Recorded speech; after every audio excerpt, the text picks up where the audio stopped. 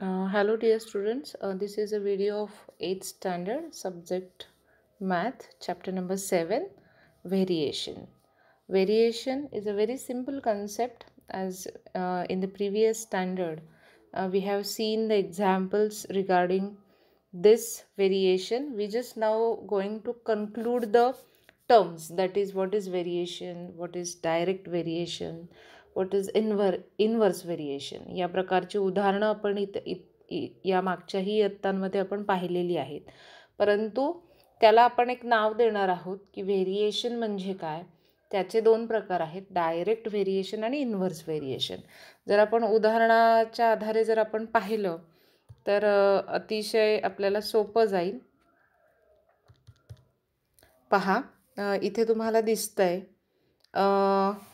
the rate if the rate of notebook is 240 per dozen what is the cost of three notebooks एक dozen एकच minute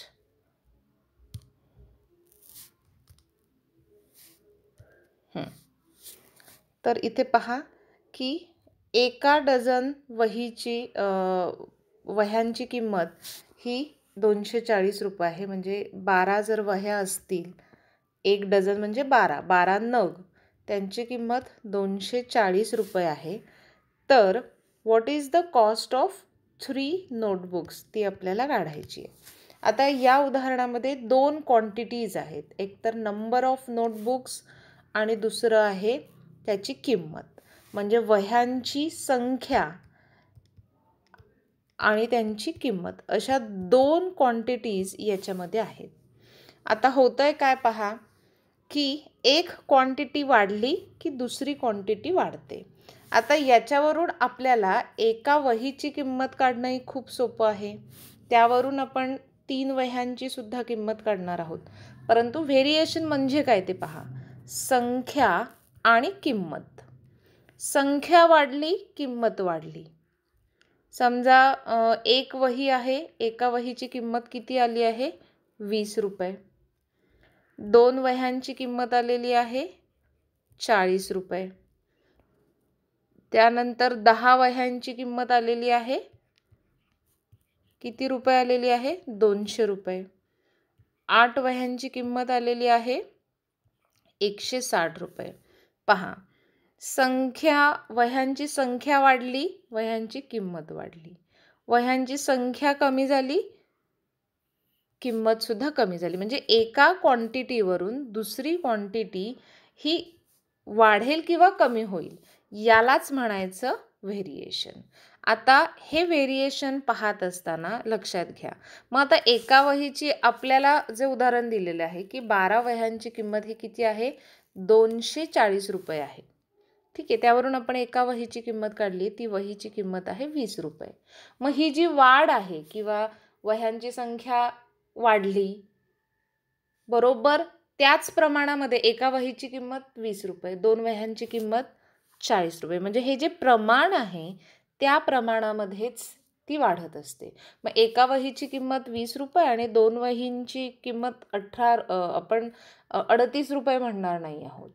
म्हणजेच ह्या हे वाढण्याचं प्रमाण जे आहे ते कॉन्स्टंट आहेत. आणि यालाच आपण म्हणतो प्रपोर्शन म्हणजेच आपल्याला लक्षात घ्या हा जो रेशो आहे this ratio wait a minute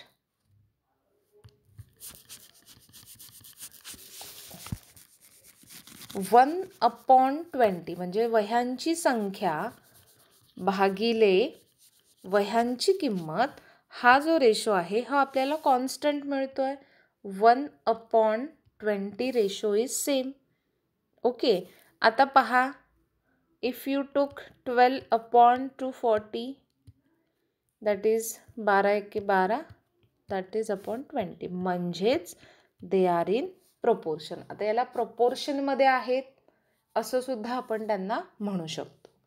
ठीक आहे? आता या पद्धतीची उदाहरणं तुम्हाला येणार आहेत की एका क्वांटिटीवर दुसरी क्वांटिटी हे अवलंबून आहे. तर यासाठी आपण पहिल्यांदा वळूयात डायरेक्ट व्हेरिएशनकडे आणि व्हेरिएशनचे दोन प्रकार आहेत. एक आहे डायरेक्ट व्हेरिएशन आणि दुसरं आहे इन्व्हर्स व्हेरिएशन इथे तुम्हाला दिसेल. इथे आपण पाहतोय डायरेक्ट व्हेरिएशन बघा the statement x and y are in same proportion can be written as x and y are in direct variation or there is a direct variation between x and y म्हणजे x आणि y अशा दोन quantities आहेत आणि त्या प्रपोर्शनमध्ये आहेत. हे आपण कसं लिहू शकतो? X is directly proportional to y म्हणजेच एक्स वाढली की वाय पण वाढणार आहे. परंतु ती कशी वाढणार आहे? एका प्रमाणामध्ये वाढणार आहोत. आणि म्हणून हे प्रपोर्शनचं साईन जेव्हा आपण काढतो then we take the constant as की लक्षात घ्या. मग असं उदाहरण सगळ्यांनी पुन्हा एकदा डोळ्यासमोर घ्या. की जेव्हा मी म्हणते की वह्या एक समजा आहे वह्यांची संख्या आणि वाय आहे वह्यांची किंमत. एका वहीची किंमत वीस रुपये. एका वहीची किंमत वीस रुपये. दोन वह्यांची किंमत चाळीस रुपये. म्हणजे ह्यांच्यामध्ये जे प्रमाण आहे त्या प्रमाणाला आपण इथे काय म्हणूयात? कॉन्स्टंट असं आपण म्हणूयात. मग आता इथे आपल्याला एक क्वांटिटी दिली असणार आहे. कॉन्स्टंट दिला असणार आहे आणि आपल्याला वाय काढायचा असणार आहे. पहा कशा पद्धतीची गणितं येणार आहेत आपल्याला याच्यावरती. एकच मिनिट इरेज करते मी.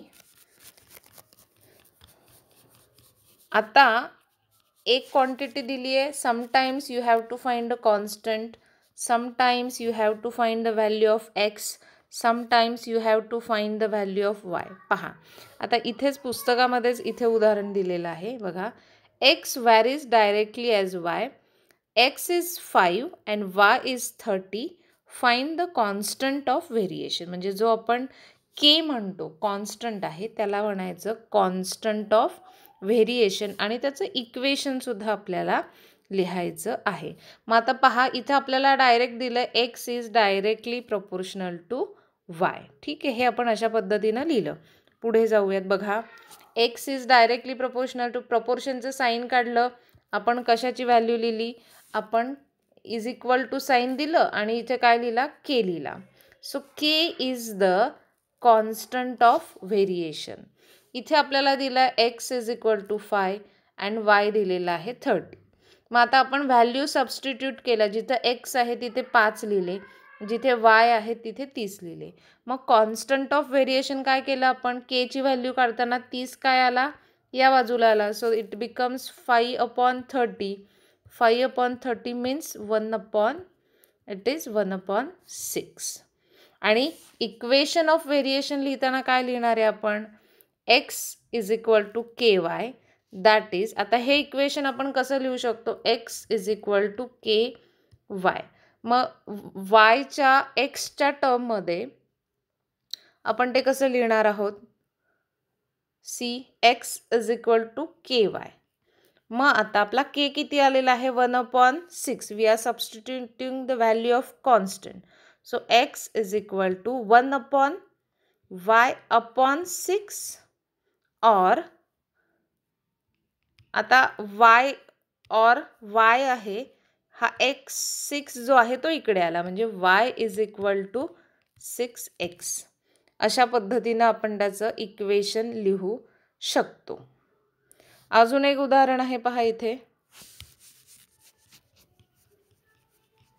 उदाहरणं पहा. इथे पुन्हा एकदा उदाहरण तुम्हाला दिसेल. एकच minute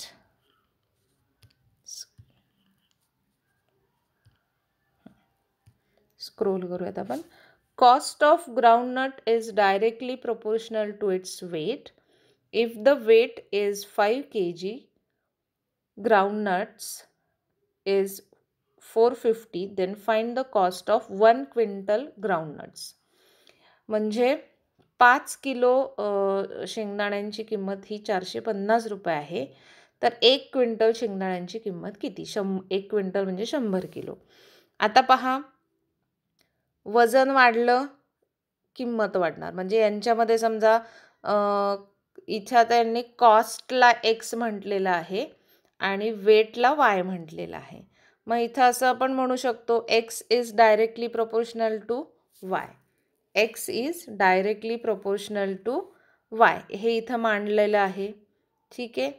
X is directly proportional to y आता हे प्रमाण आपल्याला त्यांनी आपण हे जेव्हा प्रोपोर्शनलचं साईन काढतो तेव्हा आपण तिथे काय लिहितो? We write the constant constant आता आपल्याला काय काढायचं आहे जे दिलेली माहिती आहे त्याच्यावरून आपल्याला कॉन्स्टंट काढायची आहे. मग आता कॉन्स्टंटमध्ये आपल्याला इथे दिलेलं आहे की पाच किलो जी आहे पाच किलो जर वजन असेल तर त्याची पाच किलो शेंगदाणे असेल तर त्याची किंमत ही किती आहे? चारशे पन्नास आहे. तर याच्यावरून आपण केची व्हॅल्यू काढू शकतो. केची व्हॅल्यू काय येणार आहे पहा.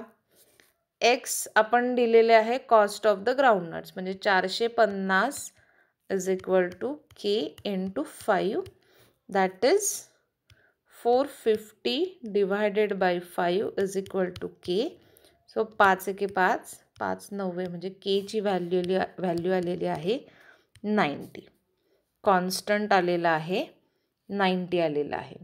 आता आपल्याला काय काढायचं आहे? एका क्विंटल ग्राउंडनट्सची किंमत एक क्विंटल शेंगदाण्याची किंमत आपल्याला काढायची तर एक क्विंटल म्हणजे शंभर किलो.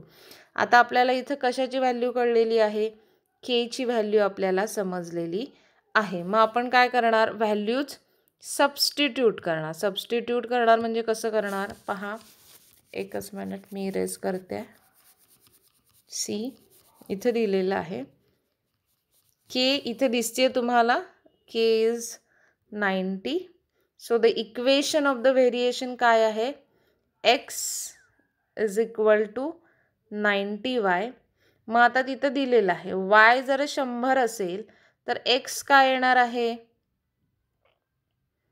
काय येणार आहे? Yes ninety into hundred that is nine thousand म्हणजे शंभर किलो शेंगदाण्याची किंमत येणार आहे. नऊ हजार रुपये. अशा पद्धतीने ही गणितं सोडवायची आहेत. आता पहा आपण थोडंसं सॉल्ड सम्सपेक्षाही आपण प्रॅक्टिस सेटकडे जाऊयात. प्रॅक्टिस सेटकडे पहा.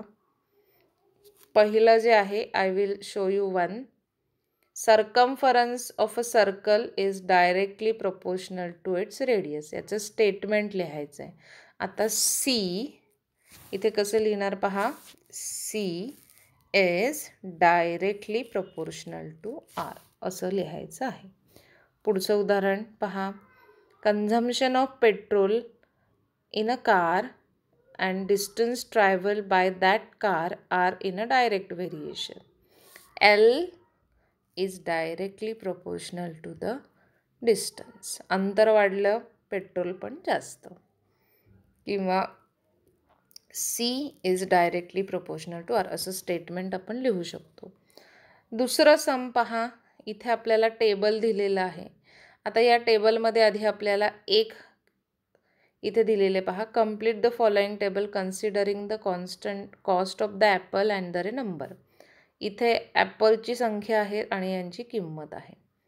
ठीक आहे? आता याला म्हटलं एक्स याला म्हटलं वाय ॲपलची संख्या वाढली.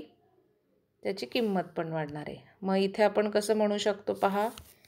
हे सम पहा. सेकंड. एक मी करून दाखवते.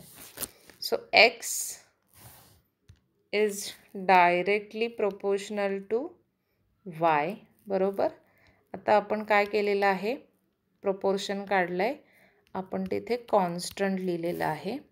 आता आपल्याला समजा एक्सची व्हॅल्यू एक असेल तर वायची व्हॅल्यू काय असणार आहे? आठ असणार आहे. आणि यावरून केची व्हॅल्यू येणार आहे. इथे एट मल्टिप्लाईड आहे. तो या साईडला आल्यावर डिवाईड होणार आहे. म्हणजे केची व्हॅल्यू आलेली आहे वन अपॉन एट बरोबर? K is one upon eight हा कॉन्स्टंट आपल्याला आलेला आहे. आता आपल्याला जिथे जिथे फिल इन द ब्लँक्स आहे तिथे तिथे आपल्याला सम करायचे आपल्याला तिथे कॉन्स्टंट सबस्टिट्यूट करायची आहे. पहा एकच minute.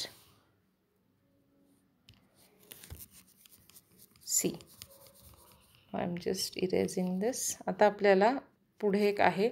जर ते कॉस्ट फिफ्टी सिक्स असेल तर फिफ्टी सिक्स ही कॉस्ट किती ॲपल्सची आहे ती आपल्याला काढायची आहे. See x is directly proportional to y आता आपल्याला वायची व्हॅल्यू समजलेली आहे सॉरी कॉन्स्टंट आपल्याला समजलेलं आहे. दॅट कॉन्स्टंट आहे वन अपॉन एट आपण इथे लिहू शकतो. आता इथे जो आहे तो वाय आहे. So substitute the value of y that is a fifty six मग इथे काय येणार आहे? आठी साती छप्पन्न. म्हणजेच एक्सची किंमत आलेली आहे सात. एका ॲपलची किंमत आठ रुपये सात ॲपलची किंमत छप्पन्न रुपये. म्हणजे इथे आधी तुम्ही जी दिलेली माहिती आहे वन आणि एट इथे जी दिलेली आहे तुम्हाला लक्षात घ्या टेबल आपल्याला ऑब्झर्व करायचं आहे. टेबलमध्ये एका ॲपलची किंमत आठ रुपये आहे. यावरून आपण कॉन्स्टंट काढला आणि तो कॉन्स्टंट या इक्वेशनमध्ये सबस्टिट्यूट केला आणि आपल्याला हवी ती व्हॅल्यू आपण काढू शकतो. अशा पद्धतीने हा exercise seven point one complete करायचा आहे. ओके सगळ्यांनी सोडवा सेवन पॉईंट वन थँक्यू